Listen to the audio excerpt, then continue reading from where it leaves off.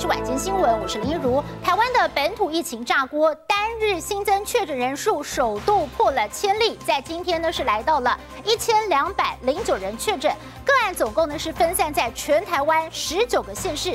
那么其中呢，值得特别注意的就是台湾现在有四个县市，包括了新北、桃园、花莲跟台北呢，确诊数都突破了百例。专家就点出了台湾的高峰有可能会来到百万人确诊。此，指挥官陈忠回应：确诊病例要破百万也不是不可能。而目前新北市已经率先启动居家照护，收治三百二十六户；高雄也提出了申请，花莲则是在准备当中。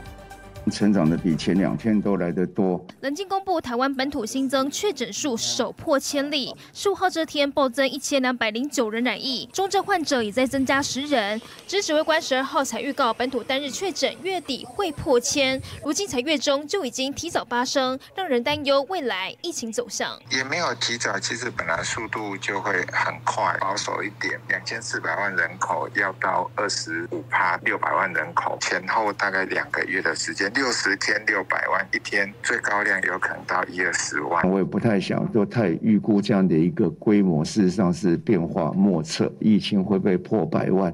我们也说这有可能。规模。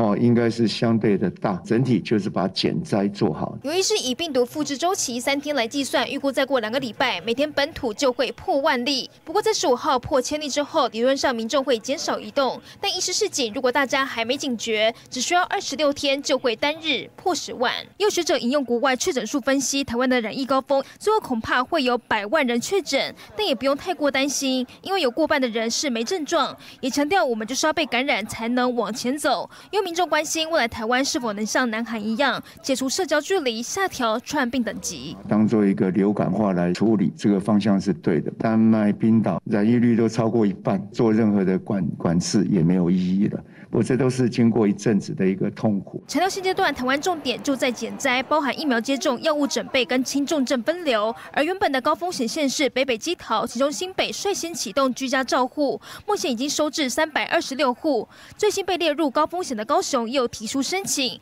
花莲则是在准备中，只要申请通过就可以立刻启动。就新闻台报道。